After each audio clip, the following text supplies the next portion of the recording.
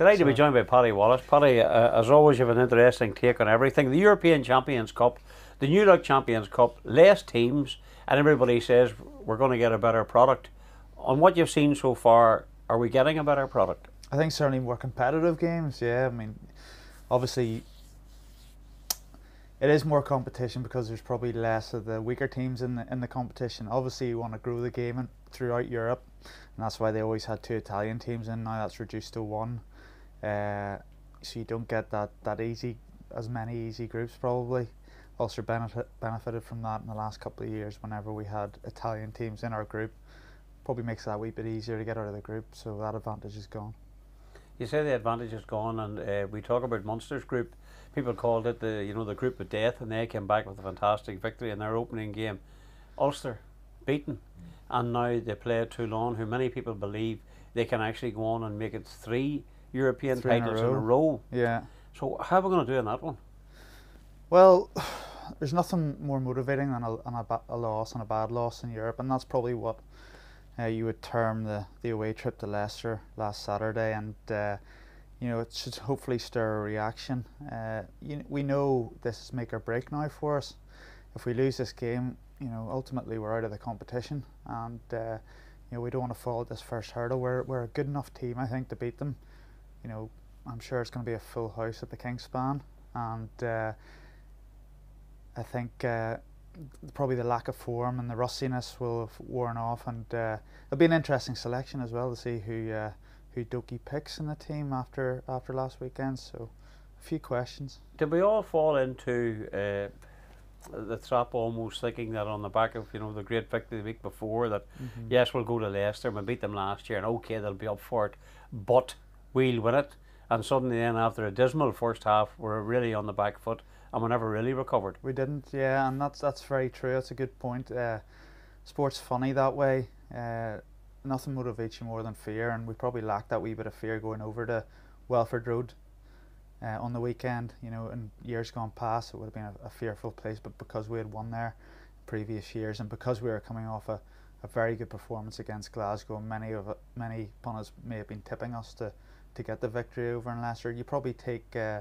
that fear goes to the back of your mind a wee bit, and uh, you probably lack that little edge, that wee chip on your shoulder that you need whenever you go to tough places like Welford Road and get wins. Now Toulon will come to uh, Ravenhill, come to Belfast this weekend. There'll be bucket loads of fear. I think we whenever we look at that fixture. yeah, and, and that's the other worry that that that you play within yourself because of uh, of the challenge that, that you face. And Toulon are, are a massive challenge. They've won the, the European Champions Cup now two years running. They they hope to do three, and with a squad and, and, and team littered with such superstars, you can understand why there may be a bit of fear. So hopefully we can control that, and you know we know everything's on the line this weekend. We certainly won't lack motivation. The Ulster public has been um, spoilt, I would almost say, in recent years, you know, with Ulster and indeed Irish success. But Ulster's always been there, thereabouts, and knocking on the door in the old Heineken Cup. But it's disappointing to hear from an Ulster perspective that, you know, if they lose this weekend, you're virtually saying that's it. Yeah, I know.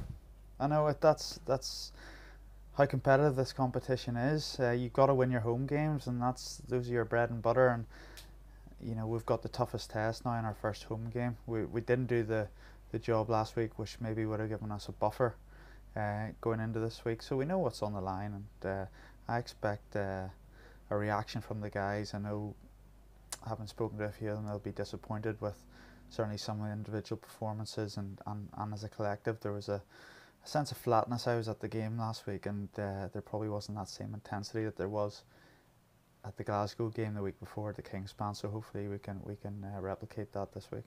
You talk about the reaction from the players. Y- You know him. He's uh, our new coach, Neil Doak. Uh, how will he react to that? You know what? You know what's what, what's his? Uh, Well, it'll be it'll be a test for Neil. uh Uh-huh. you know, Les Kiss, who will be coming in as our director of rugby, who's been uh, who's been alongside Neil since the start of the season. He's now got his Ireland hat on.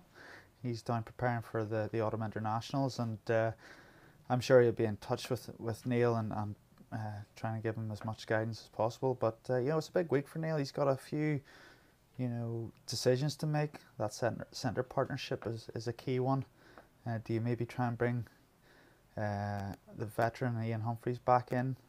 Uh, so there's a few few decisions to make. Uh, you know, the centre partnership is something that was was moved during the game against uh, Leicester, and it seemed to be more effective, moving Payne to the to fullback, which I think is his best position, and bringing Darren Cave into 13, and then moving Stuart uh, Olding, who's a lovely footballer.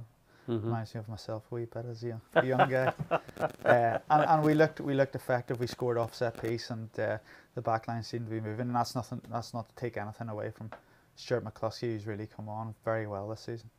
Having said that, you know, you go in and you play against the, the cream of the crop in Europe, and when you miss a player like like like Ruan Pienaar, you know, mm-hmm. you know that that man is just. He, I, I know those lads are fantastic, but he, he's he's just a cut above the rest, isn't he? To really, to a very large degree. He is. I'm not sure what McLean's would uh, price him at in terms of what he'd be worth to the team, but I would say you're looking probably six point seven points uh, if Ruan's in the starting lineup, and you know he was missed last week. Certainly, uh, his kicking game, you know, playing away from home, you've got to establish field position, and, and probably one of the best in the world at doing that for you. And I'll be the same this weekend if he's not fit to play. Yes, we'll miss him, but uh, I'm sure. Uh, I'm sure Paul Marshall, if he gets the nod, will will want to redeem for his, his intercept last week, and he'll be very motivated to put in a, a good performance. Now, on the overall picture of uh, the Champions Cup, it it, uh, it, has arrived on our doorstep after a, a huge amount of gnashing of teeth and uh, federations and heads being knocked together and stuff like that. Yeah, exactly. But yeah. well, if you put your if you put your gaze over it, uh, the bookies have uh, Toulon again as the favorites mm-hmm. Would you go along with that? Are they are they still very much the team to beat? They have su- they have such depth in their squad, so it's hard to look past them. They'll be motivated to be the only team that that's uh, that that has won it three times in a row. So they'll be uh, driving them as well.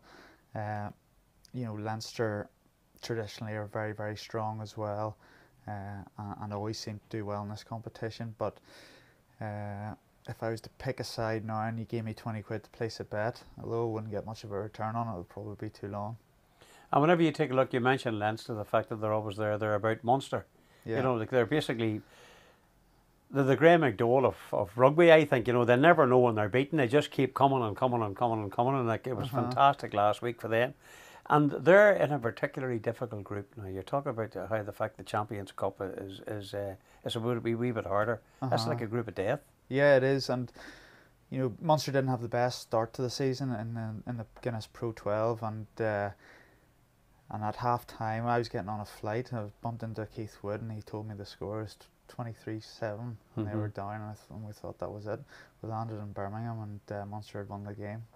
Incredible turnaround, and they're they're so capable of that traditionally throughout the years to, to be able to pull back massive leads and uh, and they've done that. What they've done now is they've created momentum uh, going into their, their home match, and uh, you know if they can come away with two wins out of two, they'll be in a strong position in that group of death. I know you're talking about Toulon. Obviously, you can't see see past them. Uh, Leinster are third favourites, Northampton fourth favourites. Then comes Clermont, Toulouse, Racing Metro, followed by Munster, sixteen to one. Saracens are second favourites at eleven to 2 mm-hmm. Would you fancy them? Do you think they're a good side? Yeah, I think they'll have learned a lot from last year. Uh, you know, it's very hard to to go deep into competitions, which they did, and they ended up falling at the final hurdle in both. So, hopefully, for from their point of view, they'll they'll have learned from that experience. I'm sure. Uh, perhaps they may rotate a wee bit more. I'm not sure if you can concentrate on one or the other, uh, but perhaps a bit of spreading your resources will put them into a better position. But you know, to make two finals, uh, they're certainly well worth their, their second favourites tag. I want to go back just to, to get a, a final uh, reflection on Ulster. You know, you played for Ulster, you played for Ireland. You, you, know, you've been there whenever there was very few people, let's say, up at uh, Ravenhill or Kingspan, Ravenhill as it's called now. But the, the whole the whole package of Ulster rugby now, it's it's it's fantastic, isn't it? It's uh-huh. a great uh-huh. atmosphere. It's a real feel good factor for, for the city and indeed for, for, for everywhere. And Ulster really have captured. They, they, they've actually captured the hearts of everybody, not just rugby people. They have. It's it's tremendous to see. I, I made my debut flip back in 2000, I think, and uh, I, I remember going to pre-season straight out of school, and I was that '99 team that won the cup, and uh, it was such a privilege. It's all all I really wanted to do, and uh, and to be able to play for sort of 13, 14, 15 years has, has been great, and to see the product, as you say, grow into something that's almost world class now. Certainly in Europe, it's uh, one of the top clubs with the top facilities, the top training uh, facilities, great coaching now, uh, and obviously that that gives the supporters a great product to come and watch and enjoy on the weekends. And uh, it's up to the players, it's up to the management to keep putting on, putting out good teams for the supporters to buy into and go and support. And then it's up to the players themselves. Try and get across the line and bring back some silverware. Be lovely to see it, and just a word about the supporters too, because the atmosphere. I have to say, sometimes you can go to uh, maybe the Aviva and watch Ireland play rugby, and I know people like Alan Quinlan and stuff like that, and other columnists have complained about a lack of atmosphere in the Aviva uh-huh. and even in Croke Park whenever Ireland played. There is no lack of atmosphere in Belfast when Ulster take to the park. I know, it's usually a Friday night when everybody's had about half a dozen pints. So that makes it good. But uh, no, it is. It's a it's a unique atmosphere as well, and uh, it's it's something that's makes it tough for the uh, visiting team to come and perform at, uh, which is to our advantage, obviously. But uh, yeah, uh, like in any sport, uh, the the fans need something to, to get behind and cheer and and and, and show their passion. And, and also, I've been doing that for the last number of years now. And uh, and that Friday night atmosphere, there's there's nothing better in Belfast.